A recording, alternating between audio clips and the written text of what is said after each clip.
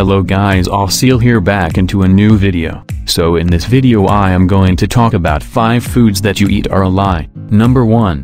Froot Loops don't have any other different flavor they all taste the same, only what changes is the color. Number 2. Fortune cookies aren't from China. It was found in the United States California. Back then by a Japanese man named Makoto Hagiwara but lots of people is saying that he didn't make them. Number 3. Crab meat found in the sushi isn't actually crab. It's made with finely ground white fish that's shaped colored and flavored like a crab. Number 4. Pringles potato chips isn't only made of potatoes.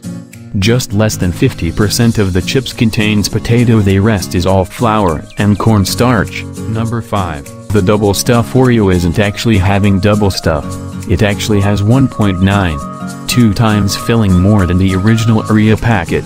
That's the end of this video guys, if you like this video make sure to give it a like, and if you want me to make more videos like this say me in the comment box below, and also subscribe to my channel, and click on the bell icon, to get notified when I upload videos. Until then bye have a nice day evening or night as I don't know when you will watch this video.